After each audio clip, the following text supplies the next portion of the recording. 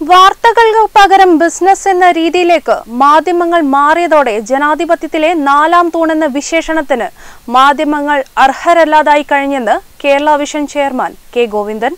Cable T V operators association Payyanur south മേഖലാ സമ്മേളനത്തിന്റെ ഭാഗമായി കോത്തായ്മുക്കിൽ നടന്ന മാധ്യമ സംവാദം ഉദ്ഘാടനം ചെയ്യുകയായിരുന്നു അദ്ദേഹം. ജനുവരി ഇരുപത്തിമൂന്നിന് പൈനൂർ സി ഒ എ ഭവനിൽ നടക്കുന്ന cable T V operators association Payyanur south മേഖലാ സമ്മേളനത്തിന്റെ ഭാഗമായാണ് കോത്തായ്മുക്കിൽ മാധ്യമ സംവാദം സംഘടിപ്പിച്ചത്. Kerala vision chairman K Govindan സംവാദം ഉദ്ഘാടനം ചെയ്തു.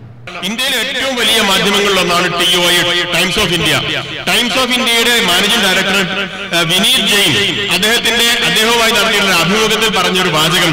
ഇന്ന് മാധ്യമപ്രവർത്തകരൊക്കെ വളരെ സജീവമായി ചർച്ച ചെയ്യുന്നതാണ്. അദ്ദേഹം പറഞ്ഞത് we are not in the news paper business we are in the advertising we are doing കാരണം എന്താണ്? അവരുടെ ആകെ വരുമാനത്തിന്റെ തൊണ്ണൂറ് ശതമാനവും അഡ്വർടൈസ്മെന്റിലൂടെയാണ് ലഭിക്കുന്നത്. ഞാൻ വാർത്ത വിൽക്കുന്നത് വെറും പത്ത് ശതമാനം. അതായത് സബ്സ്ക്രിപ്ഷനിലൂടെ സാധനം വിൽക്കുന്നത് പ്രൊഡക്റ്റ് വിൽക്കുന്നത് വെറും പത്ത് ശതമാനം വരുമാനം കിട്ടുന്നതിന് വേണ്ടി മാത്രമാണ്. എന്ന് പറയുന്നതോട് കൂടി തന്നെ കാര്യങ്ങൾ വ്യക്തമായി. അപ്പൊ കൂടുതൽ ആളുകളെ പരസ്യങ്ങൾ കാണാൻ പ്രേരിപ്പിക്കുന്ന കൂടുതൽ പരസ്യം ലഭിക്കുന്ന കൂടുതൽ ലാഭമുണ്ടാക്കുന്ന ഒരു പ്രക്രിയയായി മാറി. എന്ന് പറഞ്ഞാൽ ഭരണഘടനയുടെ ഫോർത്ത് സ്റ്റേറ്റ് എന്ന് പറയുന്ന ആ കൺസെപ്റ്റ് അതോടുകൂടി റദ്ദ് ചെയ്യപ്പെട്ടു എന്നാണല്ലോ അതിന്റെ മലയാളം.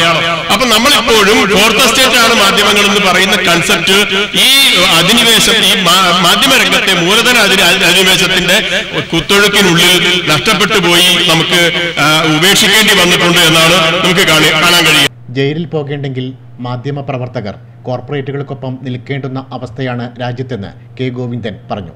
മാധ്യമങ്ങൾ പലതും കോർപ്പറേറ്റുകൾ കൈയടക്കിയതോടെ പ്രസ് കൗൺസിൽ എന്ന സംവിധാനത്തിന്റെ പ്രസക്തി ഇല്ലാതായി. മൂലധന ശക്തികളുടെ അധിനിവേശം മാധ്യമ മേഖലയെ കൈയടക്കിയതോടെ ജനാധിപത്യത്തിന്റെ നാലാം തൂൺ എന്ന വിശേഷണത്തിന് മാധ്യമങ്ങൾ അർഹരല്ലാതായി മാറിക്കഴിഞ്ഞെന്നും അദ്ദേഹം പറഞ്ഞു.